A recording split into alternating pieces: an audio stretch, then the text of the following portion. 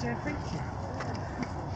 All right, so I'll start off, but welcome everybody, and thanks for being here and taking the time to be here If you want to Brent.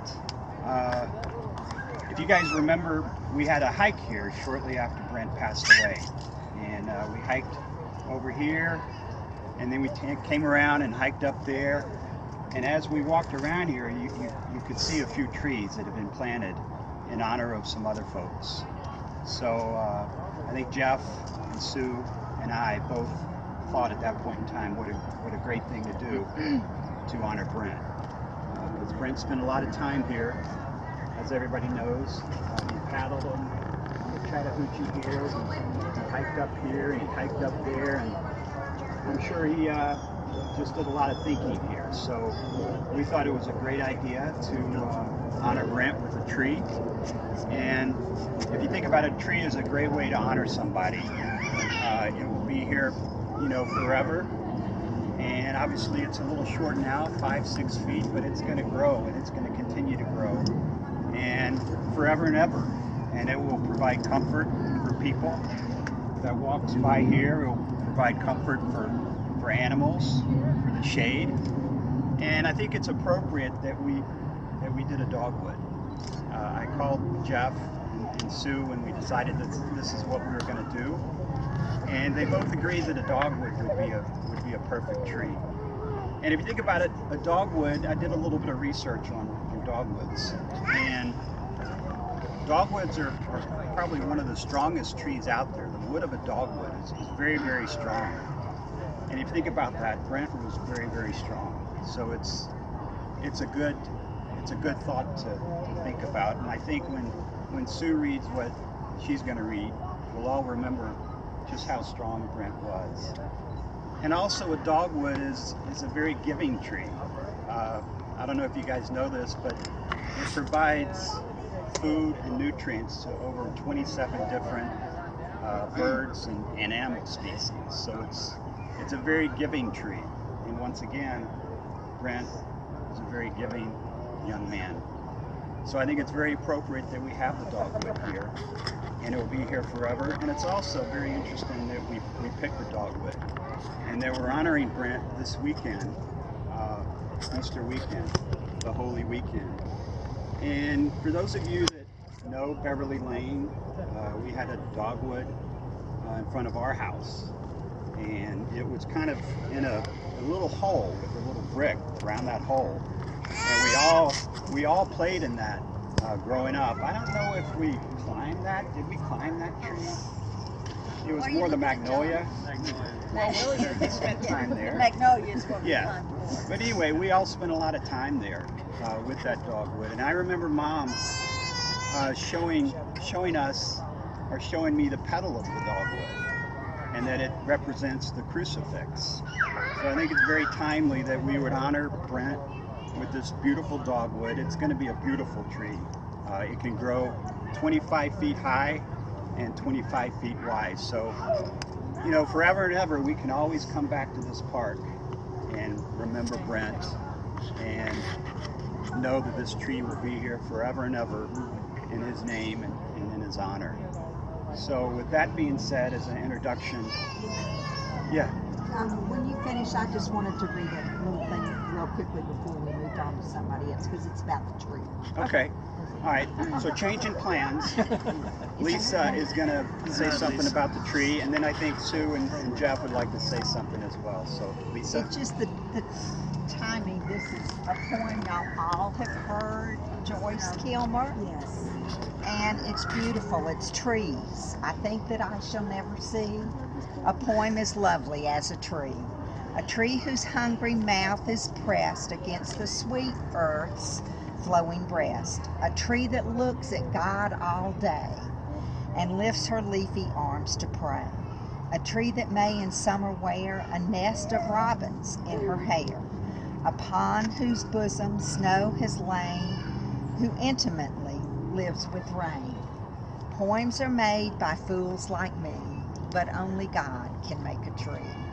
And that just touched my heart because I was thinking we can always think of this in terms of as these branches grow and reach toward God, they're also reaching toward our Brent.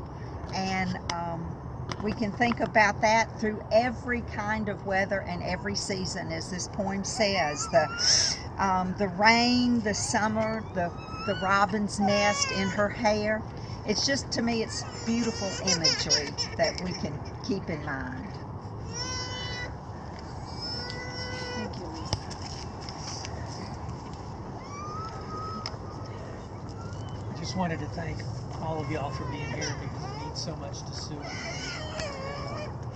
The interesting thing that Scott was saying is because Brent, you know, Brent's apartment was just right on the other side of the hill, basically, and he'd love to come here. And the last picture we have of him is out there on a paddleboard, and um, so this is just a special place for us, and it was a special place for him. And I talked to the county because I'd seen a couple of the trees, and I asked them about it, and they said yes. Uh, so I said, well, I definitely want to honor Brent and I mentioned it to Scott at Christmas. I said, Well, Sue and I were going to have a tree planted here. He said, Jeff, we've already, all of us have already talked about it. We wanted to do that for you. So just the fact that we were totally didn't even realize that we were all on the same page. And it means so much to us that y'all did this for us. And um, I want to read a little something, and I'm so glad that Jackie's here because Jackie posted this uh, we had never seen it, and she posted it not long ago. And this just sums Brent up. It's amazing. He was one of the most positive people. He would have daily affirmations, and there were times when we'd be talking, and I'd say something. He says, "Dad, you've got you're so negative. Don't be so negative." And that was Brent to a T. And I'm thinking today, he would have already seen Batman versus Superman twice. I know for a fact. so it'd be interesting to see what he thought about it. This is Here I Am, Here I Stay. Brent Wiley, 2 3 2009. I was pretty down the other day after being stood up. But when my confidence came back, I started to think about it, and you know what? I'm awesome. No, no, I'm not being cocky. I just realized that I'm a pretty good guy. I know how to treat a woman and how to be a good friend. It's funny no longer having someone holding me down has made a world of difference. Yes, at times I may feel underappreciated and underestimated. I know there is someone out there who does appreciate a nice guy. I am who I am, and if some don't appreciate me for who I am, then they aren't worth my time. Whether it be someone I'm interested in, a friend, a coworker, or anyone else. But I know I have what it takes to face on this day and will no longer let anyone hold me back. I know if I stay in this mindset, I will go somewhere. I start my new job tomorrow and I will go far in it. I will not accept anything else and I will not let myself lose this determination. I should be something more now, but in the past I have let other people and myself hold me back. Go ahead, underestimate me. I will love to prove you wrong. I know life will still throw me a punch or two, but it will be up to me to take it on the chin and get right back up. I have what it takes to make it on this day, and I'm swallowing my pride before it gets too late. Here I am, here I stay. You will remember me. And we will remember him. And this will be a wonderful tribute to him. And I just again thank you all so much. And we've also printed some copies of this if y'all like some. So thank you. Okay.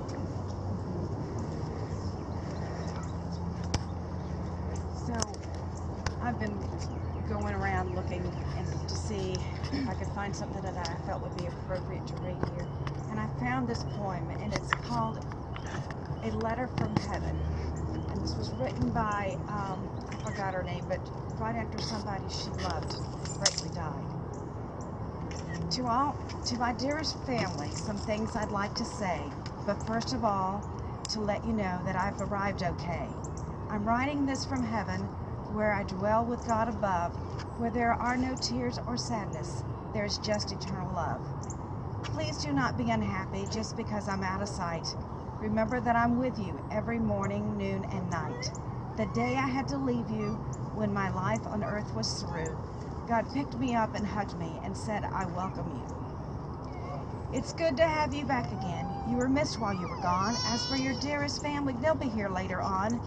I need you here so badly as part of my big plan. There's so much more that we have to do to help our mortal man. Then God gave me a list of things He wished for me to do, and foremost on that list of mine is to watch and care for you. I will be beside you every day of the week and year, and when you're sad, I'm standing here to wipe away the tear. And when you lie in bed at night, the day's chores put to flight, God and I are closest to you in the middle of the night. When you think of my life on earth and all those loving years, because you're only human, there's bound to be some tears. One thing for certain, though, my life on earth is over. I am closer to you now than I ever was before.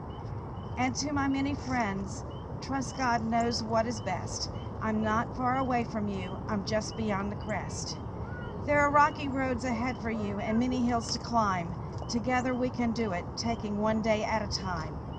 It was my philosophy, and please, I'd like for you to give unto the world so the world will give to you.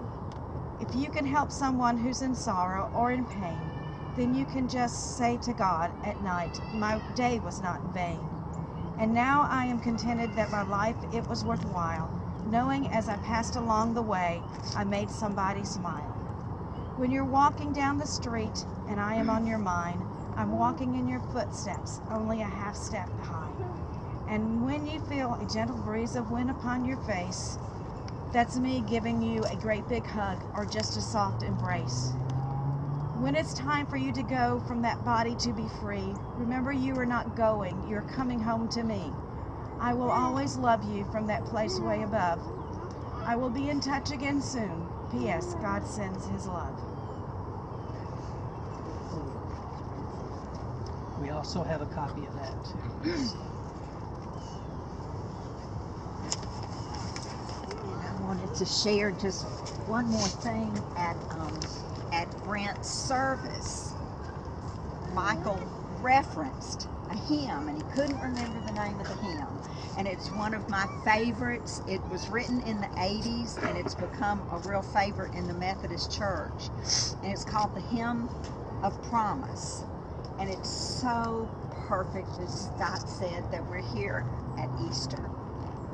And what Easter means to us, why we can be here today, and we can rejoice.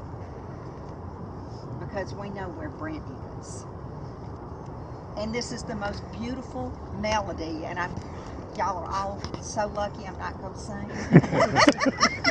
oh my brothers and sisters are just going, oh God, she's gonna sing. I'm not gonna sing.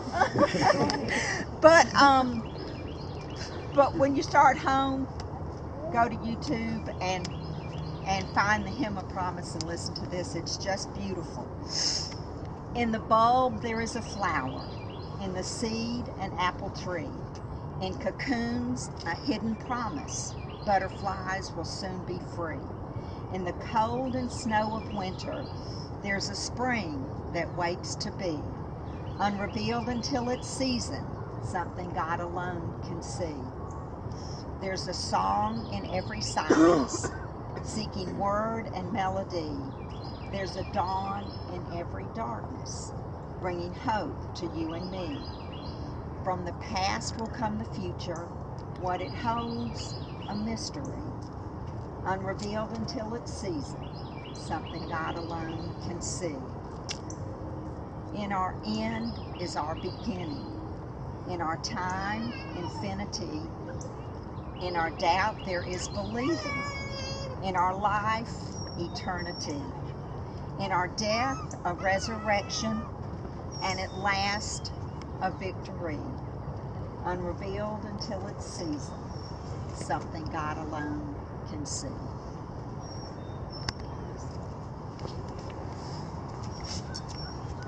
That was beautiful. Uh,